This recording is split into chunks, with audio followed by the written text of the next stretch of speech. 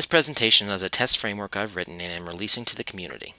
It's called QSpec, and this presentation is Spec Testing in Q, or Some Tests You're Better Off Not Doing Manually. So of course there are a whole host of reasons to write tests for your code. The only one that ultimately matters is time. Time spent ensuring code is correct, time spent fixing production problems, time spent enhancing old code. Tests save you time. Everything else is an argument in support of this because time is the only resource that you can't get more of. Alright then, we're going to write tests. What are the current testing frameworks for Q? There's Simon's K4 unit, which is pretty good, and for our needs we needed a few more features. And then there's, well, um, unless I've been traveling in the wrong Q circles, nothing else. So the difference between your regular XUnit style test and a specification test is the language used. I would characterize it thusly. XUnit tests say what you are testing. Spec tests say what you should be testing. This difference is subtle, so let's keep this in mind when we're going through the examples. What should we be testing? The words that specification testing, or as it is sometimes known as behavior-driven development, use tend to be declarative. The four words shown here happen to be the major keywords that we'll use with the test framework. Desc is the keyword we'll use for the context of one set of tests. It doesn't have to describe anything in particular, but a single collection of functionality or behavior fits well within one description. Should and holds are the two keywords that will encapsulate the tests that are actually performed. In spec testing parlance, these are expectations.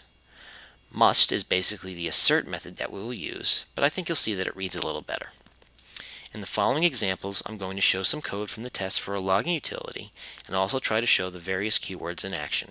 These are actual tests that have been selected out of the full test code. Okay, so overall, here we have a description.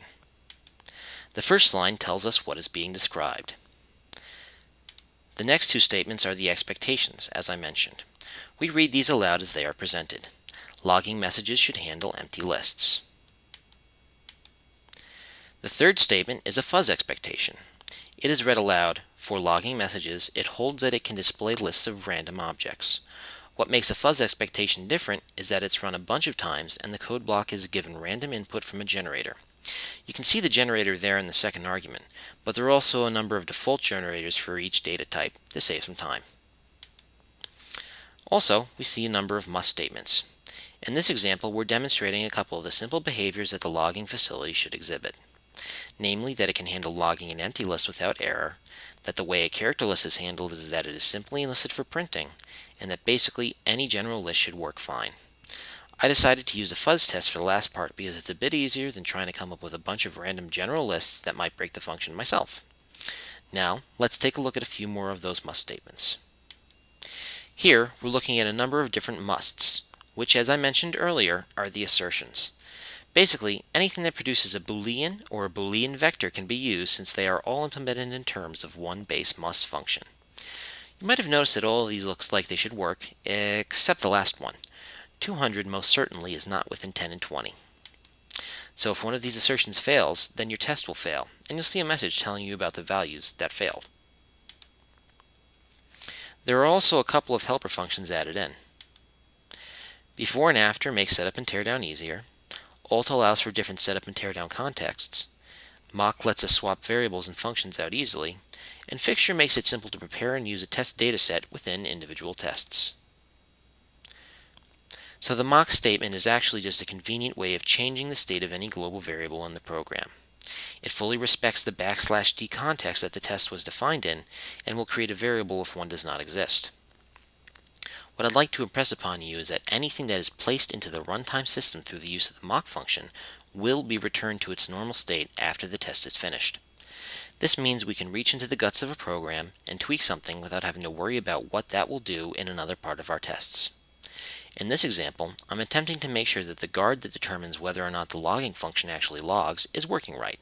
So I go through a couple of iterations changing the log level and seeing if the log message gets through to the output handle and triggers an error.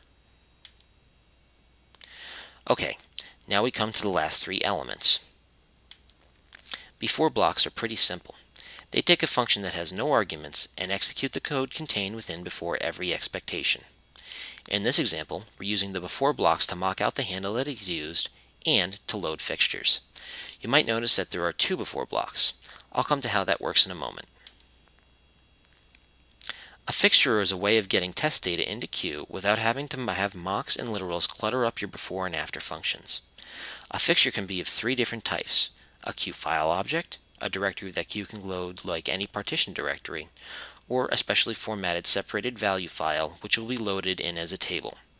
By default, the variable the fixture is named for is the file it is loaded from, although it does not have to be. This is honestly one of the things about QSpec that I am most pleased with. A lot of the time that I find myself spending while doing ad hoc testing is keeping track of the data that is driving my tests. With the fixture time, with the fixture system, it is remarkably easy to have test data live with the test itself. So I mentioned earlier that there were two before blocks. An alt block is a simple way of saying that one or more expectations use a different before or after function than other blocks without affecting the rest of the expectations. What this means here is that fixtures will only be loaded for the should expectation contained in the alt block. If you tried to refer to them in the last expectation, an error would occur. This example might need a little more explanation what with the alt block. So notice that the first before block simply mocks out the handle to be used with an identity function as seen in previous examples. Next, an alt block is used to set up a different before function that loads some table fixtures in. In the actual test file, there are a number of other expectations used, so it makes sense makes a lot of sense to have an alternate setup method. In the actual expectations, we first ensure that the logging facility can display tables, and then that it also can display dictionaries. Okay, so a few quick things before wrapping up. First, the framework has been tested in itself.